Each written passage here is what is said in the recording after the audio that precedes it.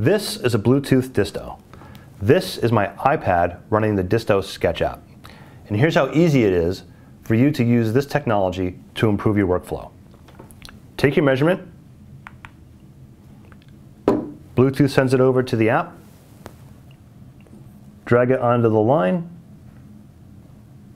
and move on to the next one. It's that simple to eliminate human error, improve your accuracy, and for you to create awesome deliverables for your clients. Check out this video of appraiser Greg Mellies using his E7500i to take measurements and send them to a la mode's app, Total for Mobile.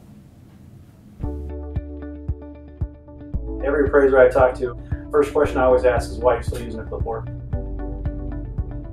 My name is Greg Mellies. I started appraising back in 2000, 2001, and so what, 15 years now.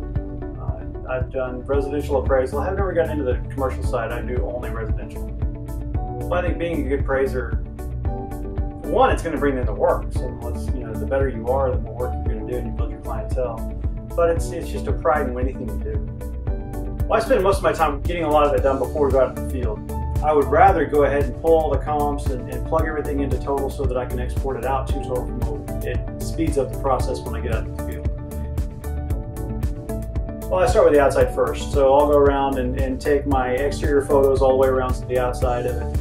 And then I'll start in with the, the measurements where I can measure the property before I go inside. I found that to keep from getting lost when I do it, I go in a clockwise motion. So I always start at one corner of the house and kind of work my way around the house uh, through the interior one at a time, entering the information into total. Worst mistake you can make nowadays is not going with the new technology and moving on into uh, digital and using using uh, tablets and using distos is just a natural progression of, of saving us time, but also making us a whole lot more accurate.